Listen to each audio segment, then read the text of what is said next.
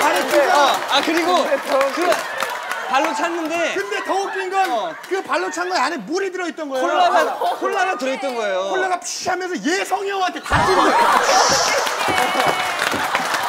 그래서 안에 콜라가 예성 콜라가 예성이한테 뒤집어 씌우면서 가만히 있던 예성이가 화가 난 거예요.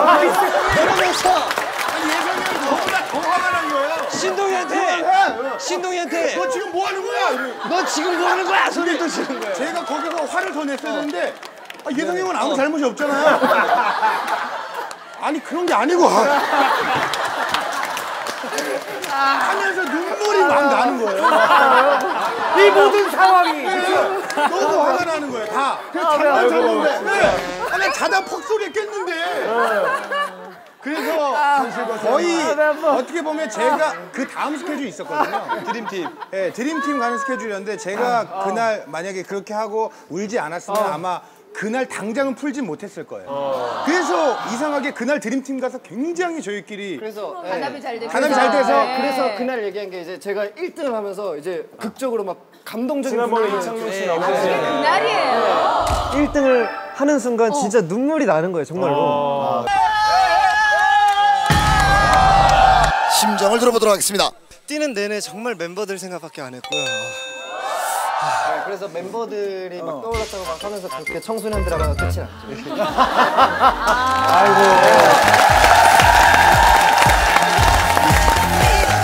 누가 소키피 가수입니다. 엄마인 여자죠. 박경 씨.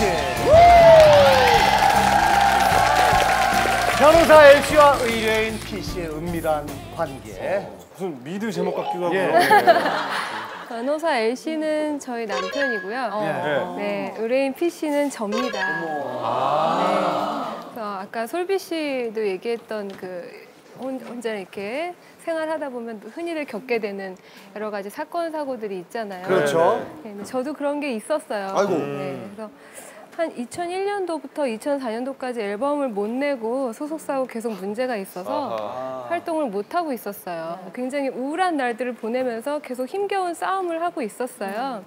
그렇게 한 3년 정도 시간이 지났는데 매니저가 변호사가 바뀌었다고 새로 다시 다시 다 회의를 해야 되고 그 상황을 모르니까 얼마나 스트레스를 받아요. 그렇죠. 3년 예. 동안 이때까지 진행을 해왔는데 그 얘기 저는 예. 근데 너무너무 마음이 답답하고 힘들어서 제가 약간 난 상태로 네. 예, 사무실을 그 로펌을 찾아갔어요. 새로 바뀐 변호사가 딱 앉아 있었죠. 네. 근데 변호사 치고 너무 귀여운 거예요. 어. 또 그 와중에 그게 눈에 들어오는 눈에 이게 확 들어오더라고요. 네. 본능이죠 본능. 근데 네. 이분이 정말 일을 잘하시는 거예요. 거의 뭐만 3년이었지 4년 넘게 이렇게 끌고 왔었던 일이 이분을 만나면서부터 한 3개월 만에 그냥 너무 클리어하게. 네.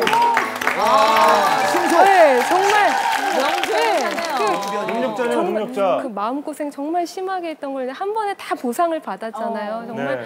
뭘 주어도 아깝지 않은 상황이었는데 음. 이런저런 이야기를 하다가 그런데 박경 씨 음반을 들어봤는데 아, 음반이 굉장히 독특하더라. 그런 얘기를 하시는 거예요. 네. 그래서 그러면서 저한테 왜 CD를 안 주세요? 어. 이런 얘기를 하시는 거예요. CD 보이면서. 달라고 저는 아 그러면은 제가 CD를 드릴게요. 그러면 어떻게 식사를 할까요? 그래서 식사 자리가 이제 마련이 됐어요. 아, 좋아요. 네. 사인 CD를 제가 사갖고 어, 가져가는 거니까 당연히 밥을 사시겠지. 아, 예. 그래서 굉장히 그 레스토랑에서 네. 제일 비싼 아이고. 걸로 예, 시켜서 어. 왜냐면 제 사건 때문에 이기셨으니까 그분도 받으시잖아요 성공 그렇죠. 보수를 예 많이 받으시니까 사시라고. 그래서 이제 아주 비싼 거를 시켜서 먹었어요. 네. 한참 먹고선 나왔는데 막 사람이 굉장히 분주하게 뭘 찾아요. 다시 뭐 밥 먹었던 2층을 뛰어갔다 내려오고. 그래서 왜 그러세요? 지갑이 없어졌다는 거예요. 아하. 또 중요할 게 없다니까. 그래서 아 그러면은 제가 살 테니까 그랬더니 바로 옆에서 아 그럼 제가 그 와인을 사겠습니다 어. 그러시더라고요. 와인 지갑은 있었나요? 그래서 지갑이. 사무실에 가서 누구한테 빌리던지 뭐 찾아보던지 하겠대요. 네. 음식점에서 그분 사무실까지 한 2, 3km 정도 되는 거리인데 네. 저한테 너무 당당히 아, 사무실하고 가까워서 차를 안 가져왔어요. 어. 걸 걷는 거 좋아하세요? 그러면서 막 앞으로 걷